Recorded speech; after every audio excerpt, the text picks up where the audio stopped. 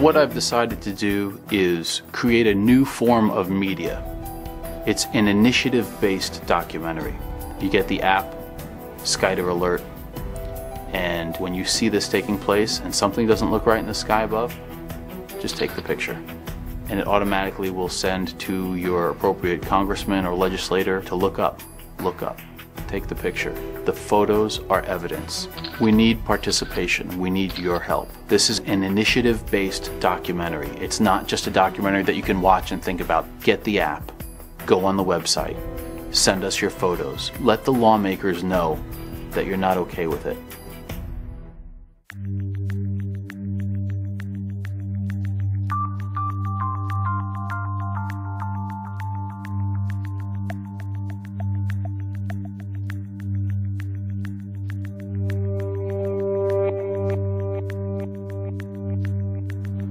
So what I came across in July through the uh, stop motion time lapse photography by accident was this uh, this aerosol spraying that is, showed up to be a geoengineering type experiment or possible military activity on at least a US scale, possibly a, a, global scale. It's not natural, the clouds are being manufactured. There's fallout from it, it's washing down in the form of rain into the water and the soil, resulting in us drinking whatever the chemicals are in this aerosol spray. And the other byproduct, which is the uh, global dimming, which is also disturbing. So whether it's a solar radiation management or geoengineering uh, effort, there are absolute side effects and, and consequences that, that may actually be catastrophic. In, an increasing amount of days um, saw these patterns occurring in the skies overhead and a subsequent diminishment of my solar uptake. And uh, it, it increased with every year. So about 2004 is when I really started my investigation as to um, what could be happening in the skies above because it was too inconsistent. One day would be a, a grid pattern, and uh, another day would be uh, virtually nothing with very similar atmospheric conditions. I've, I've, been studying meteorology since the late 90s as well. So clearly there was something happening, and, and it, it, took no time at all to come to the, the geoengineering um, issue and a mountain of data. I researched the subject of geoengineering, which seemed to describe exactly what I was seeing in the skies above, which was solar obscuration. Um, that's the, the primary goal of SAG, Stratospheric Aerosol Geoengineering and SRM, solar radiation management. The primary goal of these patents, like stratospheric Welsbach seeding for reduction of global warming, is a primary patent, and, and, and the stated goal is to block the sun. And quite uh, clearly, that's what was happening with my solar PV system. So, seeing the first ingredient in that patent is aluminum, I began to do rain tests. I, uh, first test was seven parts per billion, which, according to a um, hydrogeologist was already quite high, given my location, a filtered forested location. It's not near any sort of industry, urban setting, anything. Subsequent tests over the next five years escalated as much as 3,450 parts per billion of aluminum in a single rain test.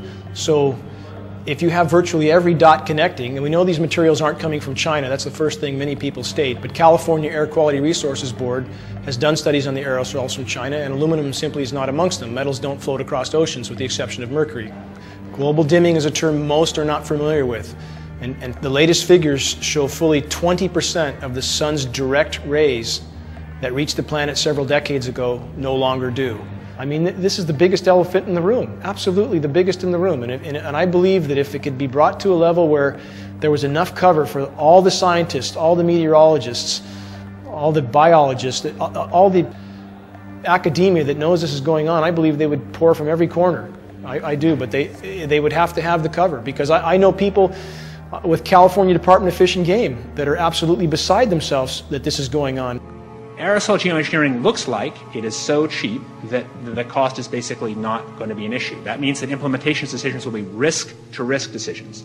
The risk of doing it against the risk of not doing it. And it makes the problem of how we govern it fundamentally harder and different and normal. But I think the more we do research, the less easy this will look, the more complicated the environmental effects will look. And that's a good thing, because right now it looks too easy. So I think that if we do more research, we're likely to find out that it's harder and more complicated than we thought, and the, the side effects are harder to manage. Of course, the opposite reaction is possible. It's an empirical question how people will actually react to knowledge about this. Another reaction is to say, if these crazy scientists are so concerned about putting CO2 in the atmosphere, they want to think about these things, then that might actually mean we should be more serious about the risks of CO2 in the atmosphere. And by the way, it's not really a moral hazard, it's more like free riding on our grandkids. And by the way, it's not really a moral hazard, it's more like free riding on our grandkids. Um, numerous air quality studies, uh, including from uh, CARB, California Air Quality Resource Board, have named submicron sized particulates as being particularly harmful for human respiration. Through all the discussions today, uh, I have not heard any mention of this fallout, and has, has this been studied and also the effects of a highly reactive metal like aluminum on toxifying soils and waters? The collaborators of mine working on the aerosol scheme are actually folks from Carnegie Mellon who focused on human health impacts. And while we haven't published it, that was the very first thing we did was do the order of magnitude calculation in uh, a level pencil and paper, but with an expert on human health impacts about whether there could be an issue. And, and for aluminum or other particles, there are a lot of toxicological things that need to get looked at seriously. Geoengineers now are moving very close, quickly to get legislation passed to spray the primary ingredients into our sky, knowing the damage that we have had not only to human health, we've seen aluminum related illnesses go through the roof, but what free-form aluminum, aluminum oxide does to our environment is devastating. Uh, and it literally destroys crops, it destroys forests, uh, it destroys our earth. We, we have an earth that, that is being molested, uh, our ozone layer is being shredded for, from top to bottom. Comtrails change um, the amount of sunlight and energy that pierces the atmosphere. I mean, it's in several articles that I can show you. So the phenomena of changing how much sun gets and energy gets into our atmosphere that heats it up is printed every day. It's just printed in such a way as as to not say this is a tool for uh, climate change. It's saying it is in fact a phenomena that will in fact change the climate by reducing the amount of sun that, that gets into our atmosphere. Geoengineering is one of the things uh, that are on the table, and it'll probably be on a large enough scale that it'll be pretty obvious to everybody. And it's becoming more obvious every day. Look at the way the contrails persist and become an entire white blanket over the whole sky. Look at this photograph of the sky. I thought that the clouds looked a little strange, that's why I took the, some pictures. But then when I saw a plane go through the cloud and leave a void in the cloud that lasted for half an hour or so, planes don't leave holes in clouds. They're just not clouds. When you begin to introduce clouds to the sky, you're changing how much energy from the sun reaches the Earth's surface. That's a given. You're increasing cloud cover. And we've had a marked increase of high cloud cover, in particular cirrus and altocumulus clouds over the last 30 years. The quotient or the ratio between low clouds and high clouds has nearly doubled the number of high clouds. And what you're doing is trapping heat. You're keeping some out, but when it comes to nighttime, you're pulling a blanket over. All right, let's just take a summer afternoon in LA. We have a high cloud bank come in. It won't come in in the morning, it'll come in in the afternoon. So we get all of that morning sunshine. We get all of that midday sunshine. The clouds come in, the sun begins to set in the west, the clouds thicken up. You've already got your heat in for the day. And then the clouds stick around for 70% of the night, and the heat stays. And so in late 2004, I started buying cameras. I bought two little webcams and then two other mini DV Canon cameras. Little tripods, stuck them out around, out, out around the house. And then I bought two computers and time lapse software. And so I could get north, south, southwest, and then east. I was hoping to catch movement of clouds, things happening with the clouds so I could deliver a better forecast at night.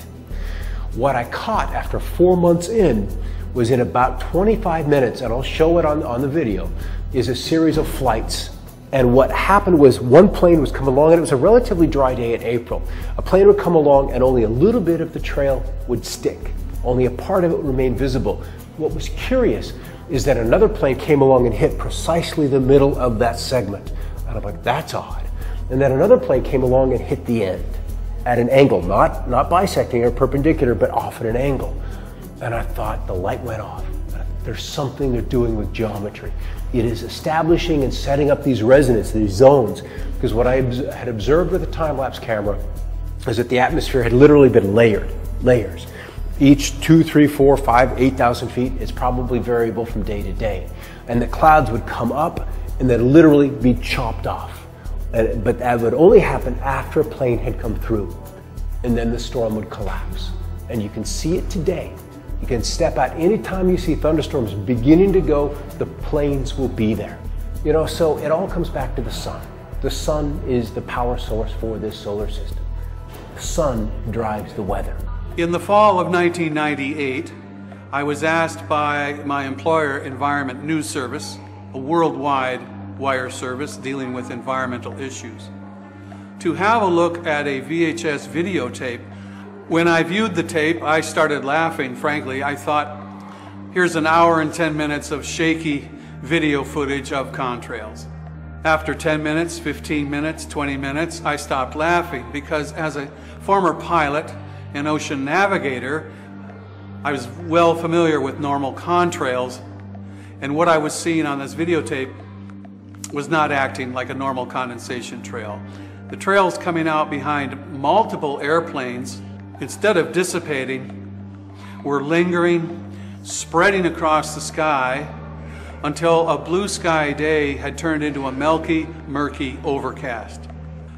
In my first story for Environment News Service in January 1999, I said that these mysterious contrails were sickening Americans. The illness patterns coincided precisely with so called heavy spray days, particularly on weekends. People would see this gritting, uh, unusual activity, aerial activity in the sky. They would start to cough, they would get asthma attacks, severe enough to send them to emergency rooms. Doctors were telling the New York Times, we've never seen anything like this. People were dying in great numbers in the early days of this project, and the CDC, Centers for Disease Control, went on record said, we really don't know what this is. Um, it's not the flu. They called it an epidemic of mortalities. That was their, their phraseology for when this. When is this? This is 98, 99, and 2000, the winter months. This was reported in the United States, Canada, uh, in Peterborough, Ontario. The hospital there had 307 acute asthma admissions in a single day. In Birmingham, England, 8,000 people died in three weeks mostly elderly. It was in all the papers, BBC. They were using uh, meatpacking trucks as portable morgues. Uh, it was very drastic. All I can say as a journalist is this was coincident to videotape and, and visual reports of tic-tac-toe patterns and uh, unusual gritting in the sky. Exactly coincided. So very dangerous, uh, very dangerous program. I'm standing on the roof of my building in the Bronx, New York. And as you can see, the entire sky, as far as you can see, it's blanketed with these chemtrails. Stretching all the way over to Manhattan or to New Jersey.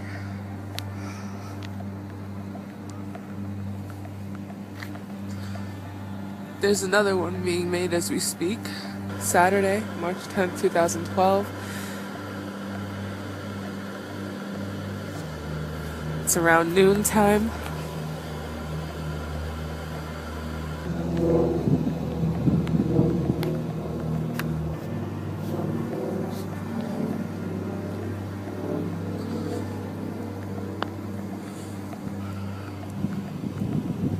And look at this. You can see this chemtrail here. It almost looks as if it's falling, falling onto the ground.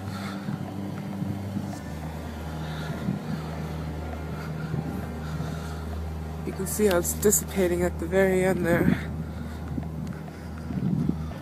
Falling into the river or falling.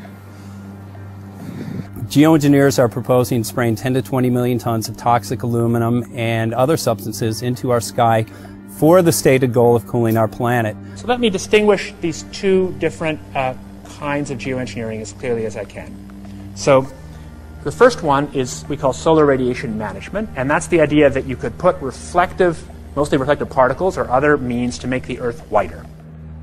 Weather is part of our planet, it's part of our nature. Weather drives everything. Weather drives all of our food. So, yeah, weather is creation. It's part of creation, and many people call that God. And uh, people who play with our weather or control our weather are playing God because they want power. Yeah. You control the weather, you control the planet. Uh, the, the, IPCC is the organization within the uh, uh, WMO, and uh, uh, that's the international organization dealing with weather. And, and it basically says the climate change is human caused and will have impacts on us now, and those impacts will become more and more significant over time. I believe the data uh, shows very clearly for anyone who truly does objective research that although they can cool regions, very large regions, temporarily and of course toxically, the overall effect is a much worsened warming. The, the real issue in uh, chemtrails is what causes them to be persistent. And I don't know that answer yet. But, but, but if, if you can cause a chemtrail to be consistent, that is persistent, that is to stay out in the atmosphere longer so it can create a cloud. Uh, what is the mechanism for that? What, what has changed in that jet to cause the chemtrail behind it to persist as opposed to dissipate? Uh, is that a natural phenomenon because we have more moisture in the air? Is it a natural phenomenon because the stratosphere is getting colder? Is it an additive that they put to jet fuel? Is it truly a chemical that they spray with the uh, jet afterwards, I don't know. Uh, but, but, but the very term persistent chemtrail is, is used so as to indicate it's different from a chemtrail. So my question is, what's the additive?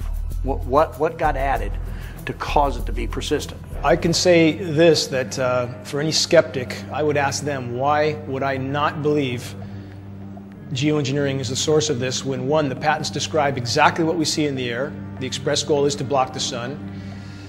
Two, the ingredients on the ground are exactly what those patents state as primary ingredients. Three, you have administration officials like John Holdren of the Obama administration openly stating their support for geoengineering. Four, you have scientific groups like the Arctic Methane Emergency Group openly calling for emergency wartime geoengineering. It's, it's can easily be found and researched by anyone who chooses to look up the AMEG group, the Arctic Methane Emergency Group. My personal opinion is that we have to keep geoengineering on the table. We have to look at it very carefully because we might get desperate enough to want to use it. The danger, of course, with geoengineering is the one I was referring to a moment ago. We don't understand the system well enough to predict its responses in detail, and that means there's always a danger if you try to engineer the system on a large scale that you will do something that has side effects that are worse than the dimension of the problem you're trying to cure with the geoengineering in the first place. Uh, there are a variety of schemes that have been discussed for geoengineering. A classic example is uh, injecting reflecting particles into Earth orbit. What is occurring is the deliberate and systematic alteration of the uh, ecosystem of this planet uh, through a physical means of injecting uh, particulate matter, extremely fine particulate matter, into the atmosphere. I look at it at this point as a global scale operation. And I, I examined those questions about whether or not it was physically feasible to modify the entire atmosphere.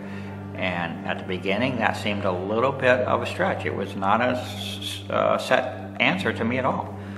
But you'll find when you study the atmosphere that actually it is quite feasible and the atmosphere is much more delicate and fragile than many of us might realize.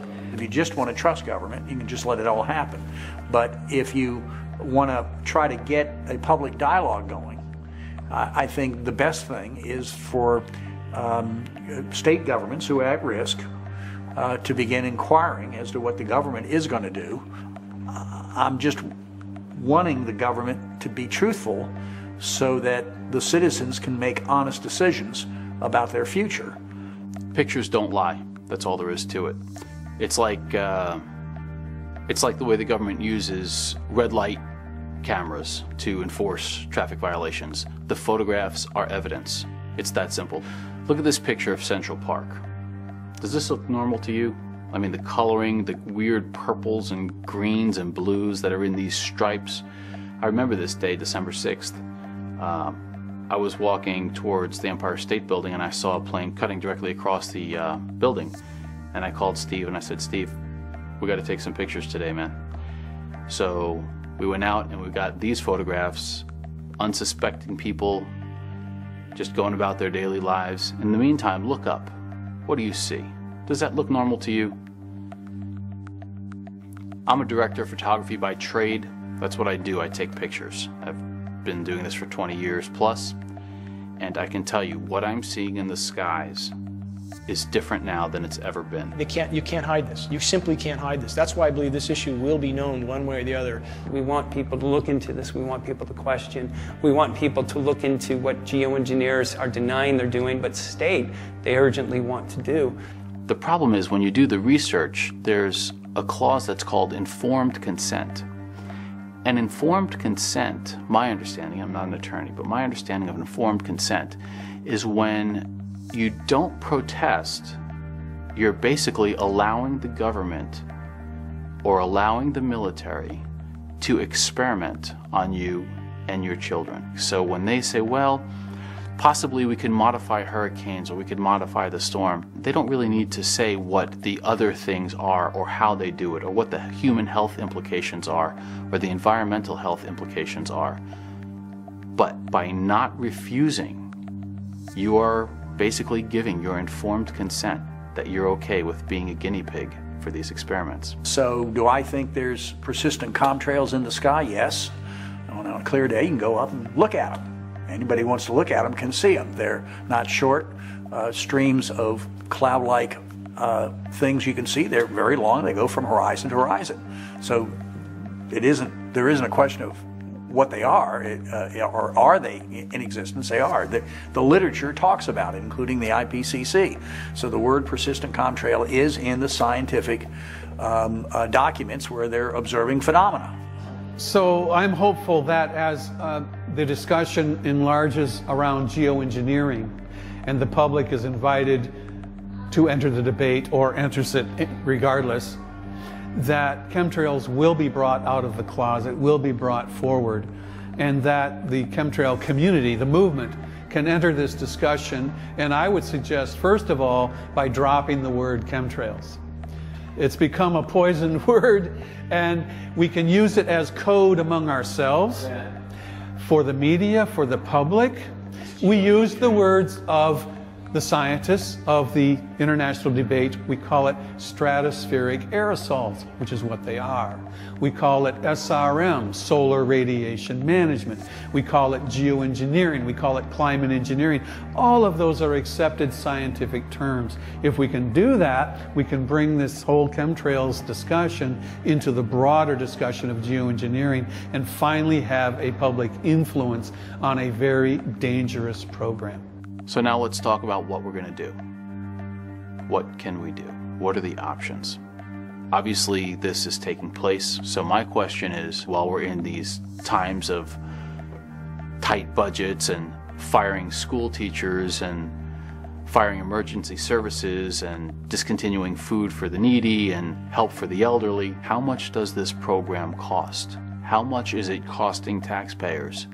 Every day or every year. We need public oversight, we need public disclosure, so this technology, the, these actions and these, these massive budgets can be used for the people and not against them. The reason I'm in this, this battle, uh, one that I never wanted in my worst nightmare, is because if, if I can't walk out my door and breathe without sucking in a lungful of toxic metals, and my children uh, can't breathe without sucking this stuff in. I simply have no choice but to try as hard as I can to expose this issue. So, what to do?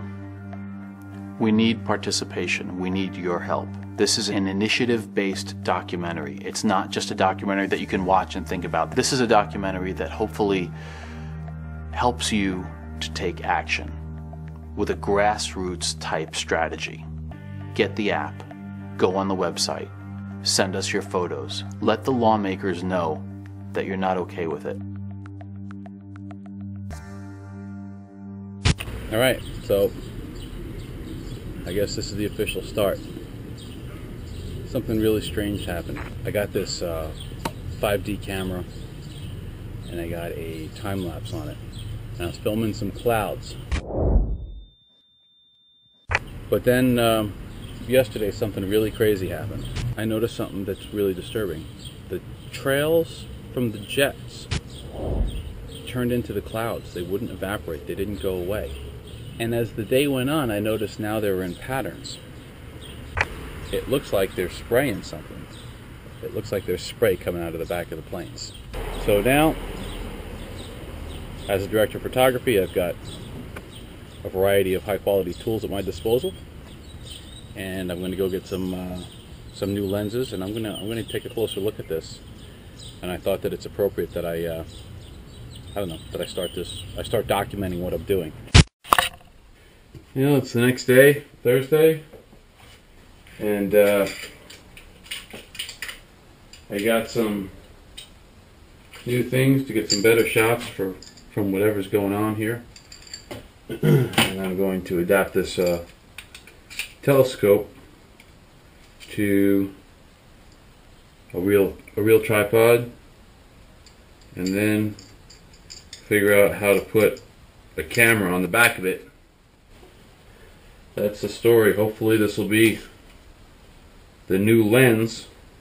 I don't know if this is going to work. We'll get it to work. Alright, well, here it is. We'll see if it's going to work.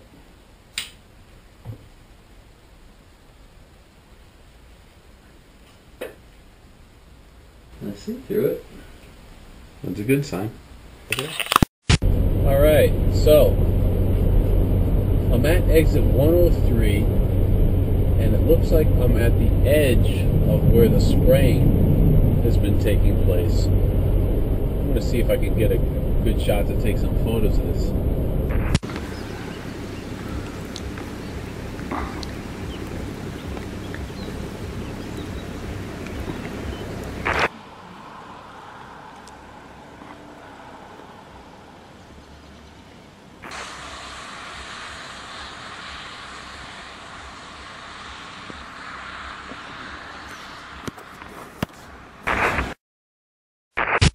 Damn it. Alright, so I'm in Harris. And I am chased by the cops again. What the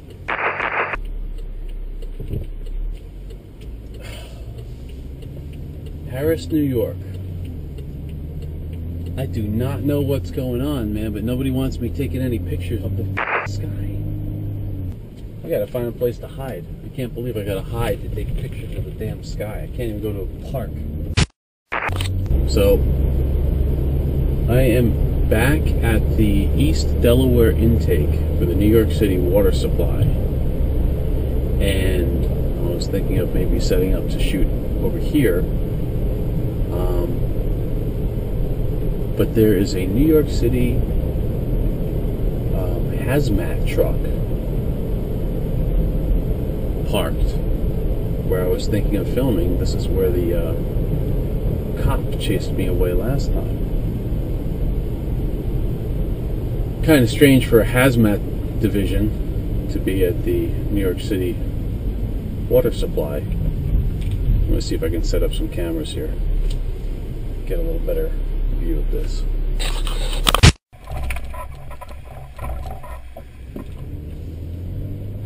I got a GoPro mounted on, I don't know, can you see out the window? Probably.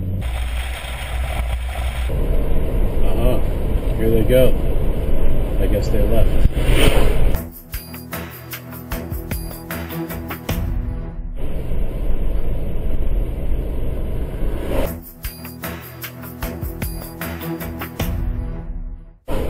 Two DEP trucks going the other way.